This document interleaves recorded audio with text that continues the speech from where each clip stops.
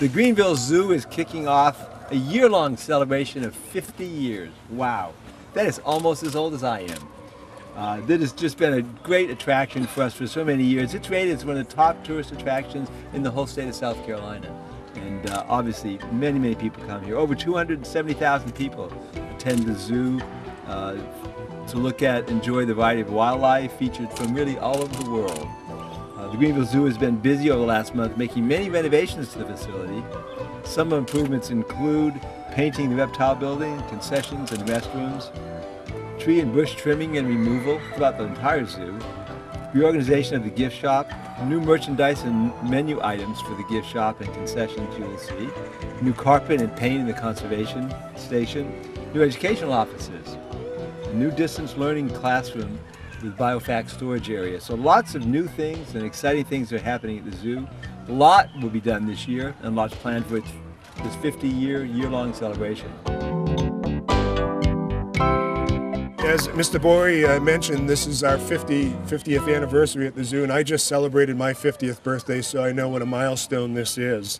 Um, and the staff has really uh, begun organizing a series of events that uh, will be uh, highlighted over the summer and so we really just want to ask you to, to really stay tuned with the, uh, what's going on here at the zoo. Watch for our, our uh, news releases for the various events that will begin in June, around the 21st of June, and we'll wrap up really at the end of August. And some of the significant things that are going to happen, other than just turning 50 years old for the zoo, is that we have a couple of significant birthdays as well. Joy, who is our resident elephant, uh, turns 40 this year. So there's likely to be a celebration uh, just for joy. And Maya, our male orang, orangutan, turns uh, 21 this year. So the Friends of the Zoo are planning a very special event for his birthday, and we're looking forward for that. Um, this is a very family-oriented place, and, and we know that our membership and, uh, and admission is very reasonable, and we just want to invite the Greenville public and uh, Greenville area residents to really come out and enjoy the zoo uh, buy a membership, which really helps support our, our uh, baseline revenue and, and, allows us to keep the zoo uh, in the level of service that you all have come to expect over the last 50 years.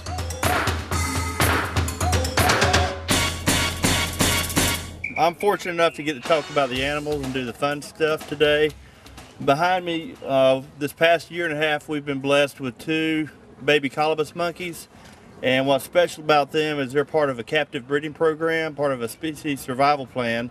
So for us to have these animals here and to be reproducing them, it not only helps the animals in zoos across the nation, but also helps to uh, let people know about the wild populations and what we can do to help them. The parents of the two offspring, or two young ones, are Lammy, the female, and Valentino, the male. They're part of a conservation breeding program like we talked about. And earlier this year, we decided to open up the Name the Baby contest for the older male that was born last February. And we're surprised this winter, um, just before our uh, winter closing, to have another baby born. So we extended the Name the Baby contest. We had over 100 names entered and we narrowed that list down to about 25 names and then had the staff vote on the winning names. And so our one-year-old which is the one that's hopping around most back there um, the name selected for him was Deo which means in Swahili joy arrives. And I, right now I would like to invite 10-year-old Colin Sparks who submitted the name for Deo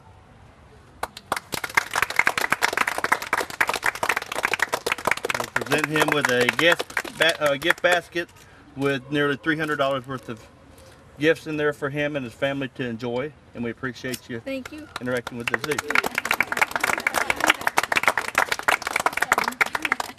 The younger baby we've got on exhibit is uh, two month old and he still has his white coloring that has started to fade and people coming out to the zoo will have about another month to see him in his white phase before he starts uh, getting the adult color, uh, coloration.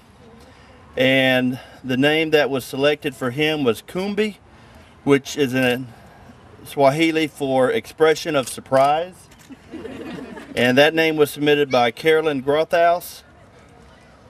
And I don't believe she is here today, but we'll make sure that Carolyn receives her gift basket. And we appreciate everybody that did submit names and took the interest in the Greenville Zoo.